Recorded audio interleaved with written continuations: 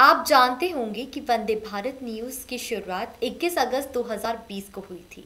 इसलिए हम सबके लिए हर्ष की बात है कि आज वंदे भारत न्यूज़ को एक साल पूरा हो गया है। तब से लेकर अब तक न केवल इसकी निरंतरता हम लोगों ने कायम रखी, बल्कि गुणवत्ता के स्तर पर भी विशेष ध्यान दिया।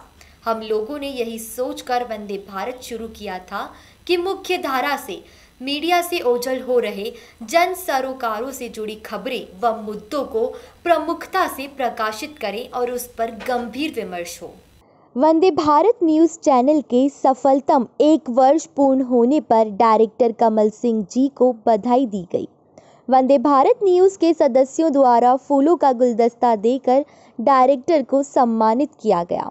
डायरेक्टर कमल सिंह द्वारा चैनल के सभी सदस्यों का अभिवादन स्वीकार करते हुए सभी को धन्यवाद ज्ञापित किया गया। इसी के साथ हमने इस दिशा में ईमानदारी से प्रयास किया। इसलिए महज एक साल की अवधि में ही वंदे भारत पत्रकारिता का चर्चित मंच व वैकल्पिक मीडिया का प्रखर प्रतिनिधि बन गया है।